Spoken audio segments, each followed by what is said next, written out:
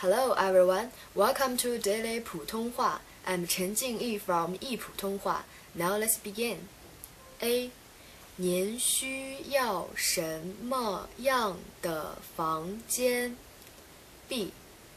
单人间就可以。Okay, this is today's 普通话. See you next time. 再见。